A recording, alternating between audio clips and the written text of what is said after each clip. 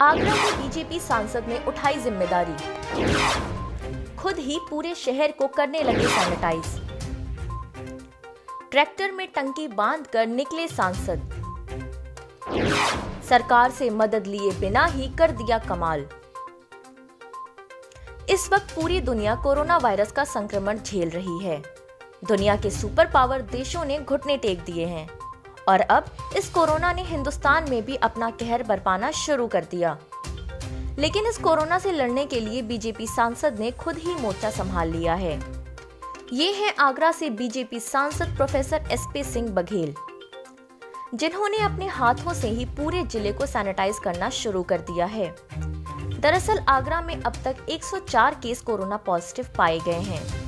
जिसके बाद से नगर निगम और जिला प्रशासन के माथे पर चिंता की लकीरें खिंच गई हैं।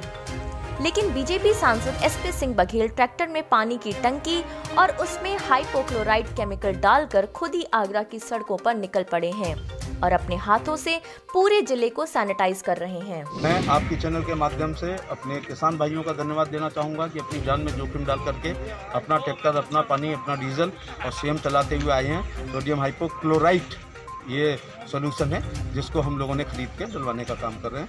मैं सबका आभार प्रकट करना चाहूँगा। बीजेपी सांसद एस पी सिंह बघेल के साथ इस काम में सैकड़ों किसान भी जुड़े हैं। दरअसल सांसद ने आगरा के आसपास जिलों में करीब 50 किसानों से ट्रैक्टर मांगे थे। लेकिन अगले ही दिन उनके घर के बाहर चौसठ ट्रैक्टर पहुँच गए।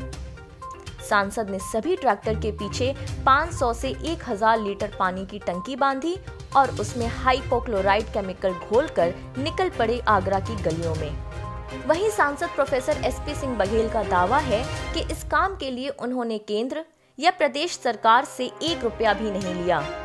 इस काम में उनकी पूरी मदद ग्रामीण और किसान कर रहे हैं।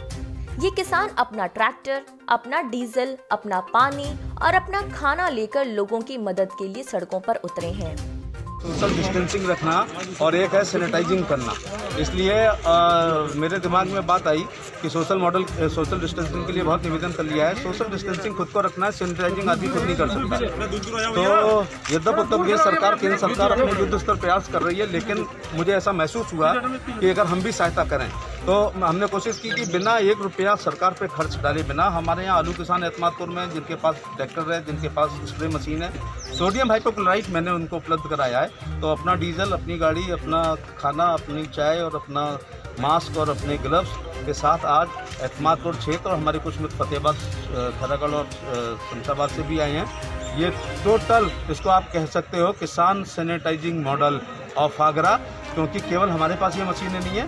आगरा, एटा, फिरोजाबाद, हाथरस, मथुरा, अलीगढ़, मैनपुरी, कासगंज, औरैया एटाबा फरकाबाद कन्नौज।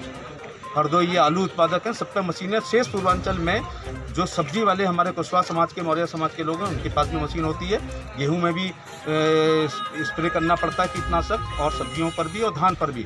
तो ये आगरा मॉडल के रूप में अगर, और बिना खर्च किए, ये आगरा निजी खर्चे पर स्वयं से भी हमारे किसान भाइयों ने लाए हैं। इसको आपके चैनल के माध्यम से देश में दिखाइएगा।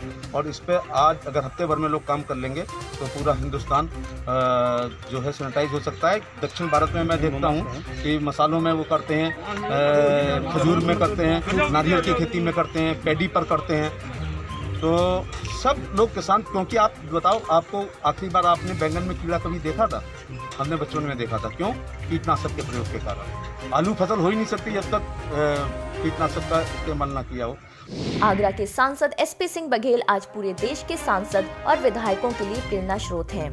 अगर उनकी तरह ही सभी राजनेता अपने अपने क्षेत्रों में उतर सैनिटाइज करना शुरू कर दें तो यकीनन पूरा देश एक हफ़्ते में ही सैनिटाइज हो जाएगा। और हम कोरोना की इस जंग में वक्त से पहले ही जीत हासिल कर लेंगे। आगरा से न्यूज़ टाइम नेशन के लिए राज ठाकुर की रिपोर्ट।